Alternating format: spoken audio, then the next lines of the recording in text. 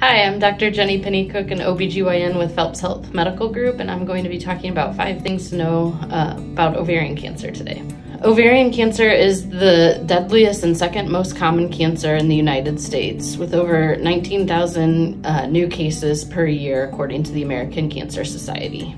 Ovarian cancer doesn't always start in the ovaries. We now know that it may start in the fallopian tubes.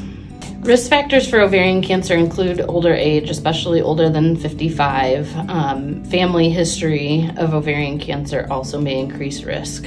Symptoms of ovarian cancer include pelvic pain, bloating, um, feeling full or not being able to eat normally, and weight loss. Ovarian cancer can be difficult to diagnose and there is no good screening test for ovarian cancer. That's why it's important to come to your OBGYN for annual checkups and also to be aware of the symptoms and report them to your doctor if you're having them.